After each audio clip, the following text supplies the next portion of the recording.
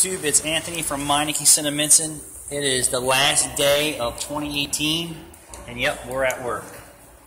So uh, I have a 2005 Nissan Murano. Um, customer was at another shop, Penn Muffler, and I'm not throwing stones at anybody, but they uh, recommended replacing this whole front pipe assembly for $600 parts and labor. If you watch some of my videos, the common exhaust issues on this one are the flex pipes rust out. And then also back here, the flange rusts out on the muffler, which has been repaired before and is okay for now.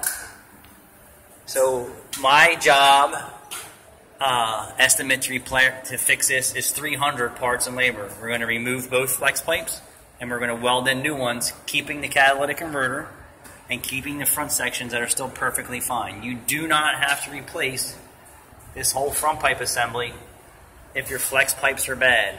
You're talking about a 50% savings by coming to Meineke Cinnaminson to have your exhaust work done. Meineke Cinnaminson.